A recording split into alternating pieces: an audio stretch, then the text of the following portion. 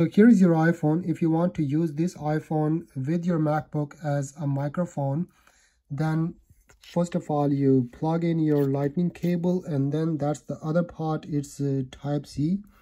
And if you have any other uh, you know cable with the usb you can use this dongle. This is not expensive.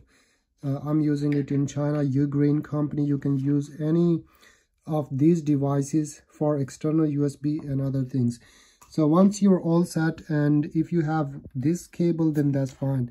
Just go to this place and plug this cable to your macbook and then what you need to do open this iphone as well. And here you need to do some settings. Go to your apple here and in the apple section go to your settings and in the setting you will find sound right? So here is the sound and here is the input. You can see that iphone this is my iphone it shows up here.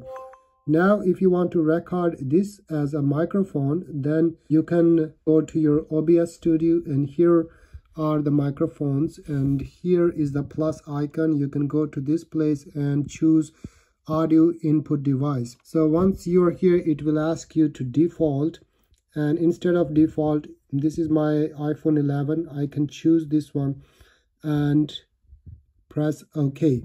Now, as I did it, and on my phone, you can see that this has started connected to iPhone MacBook Pro as a microphone. So as you can see that here as well on my OBS, here it is connected and here on my OBS, you can also see IP.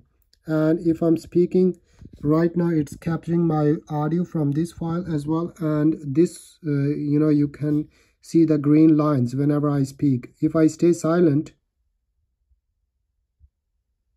boom, the green lines are back. You can mute your MacBook audio and you can use your phone as a microphone.